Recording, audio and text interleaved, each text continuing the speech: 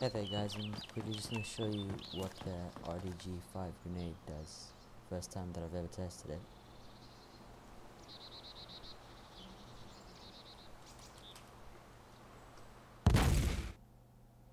And I killed myself. Thanks for watching.